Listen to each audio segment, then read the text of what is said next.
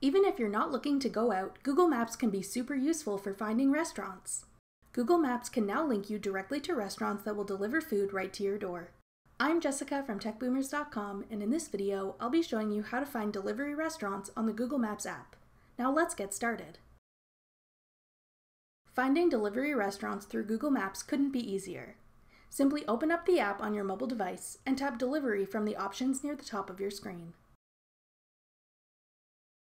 You should then see a list of restaurants available for delivery in your area. If you see a restaurant you're interested in, tap it to see more information, check out photos, and reviews. If it looks good, tap Place an Order to connect with their online ordering service. Restaurants may link their own website here if they do their own deliveries, or you may see options for third party delivery services. Choose whichever one you'd like, then continue through the ordering process to get a delicious meal delivered to your door.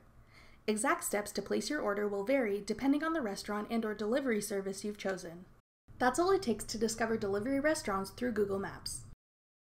Thanks for watching. If you found this video helpful, we'd love it if you'd hit the thumbs up button below and subscribe to our channel.